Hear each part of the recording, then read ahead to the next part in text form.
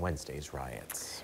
And right now, this morning, we want to share some pretty sad news about our friend and colleague, Bill Rappleye. I know it's hard, Alison. NBC 10's longtime political reporter died after battling brain cancer less than a year now.